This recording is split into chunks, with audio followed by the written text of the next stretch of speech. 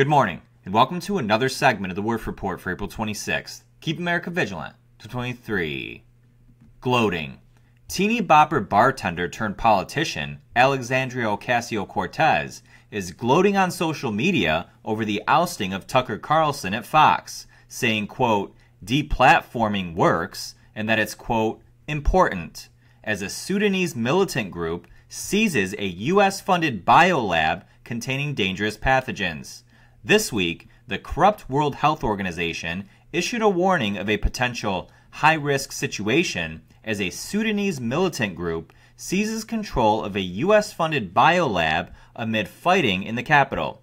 Sudan's National Public Health Laboratory has received funding and even personnel support from the Department of Defense, Centers for Disease Control and Prevention, and Dr. Anthony Fauci's National Institutes of Health Agency.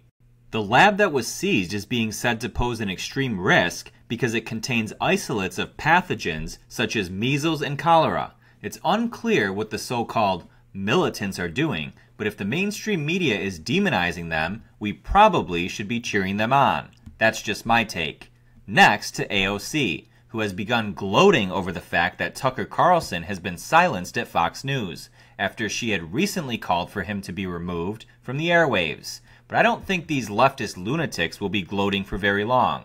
From this point on, we're not allowed to say or show you what we're about to on this platform, or we'll almost certainly be punished for it. For those of you that have been with us from the beginning, you know that YouTube had previously labeled our content as, quote, harmful to the public, and nearly banned us permanently on at least two separate occasions. So please, join us for the rest of this segment at thewerffreport.com, where we can say exactly what we want without fear of censorship, suppression, or the banning of our account for only $1.99 a month or $15 a year. But hurry, because this pricing will be gone forever next month. But for those of you already subscribed, your price will never change. And for all the trolls out there who don't like our business model, no need to comment. Just keep scrolling. We clearly have our reasons. For everyone else, your support helps us do what we do. See you there.